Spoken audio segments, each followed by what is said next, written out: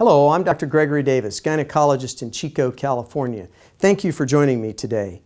Since I use a lot of Mirena IUDs in my office, I thought I would talk about it just for a few minutes with you and share some of the information.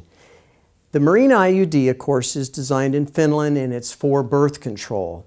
The IUD works by two ways.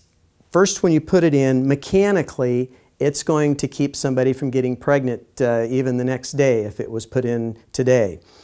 But after it's been in about six weeks, the progesterone that's in the IUD makes such a thin lining in what we call a hostile environment inside the uterus that the sperm can't get past the IUD.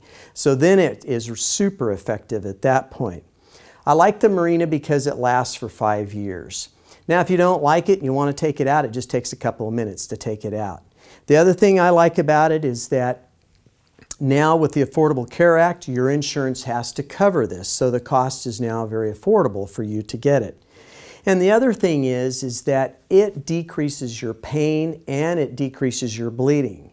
If you're somebody that is thin or normal body size, you're going to find that your periods are much less heavy and you may even stop. I would say it's probably as high as 80 to 85% chance you wouldn't have a period for the five years. Now, you may know that there's some problems related to the IUD. We'll talk about that in a separate video. Thank you for joining me.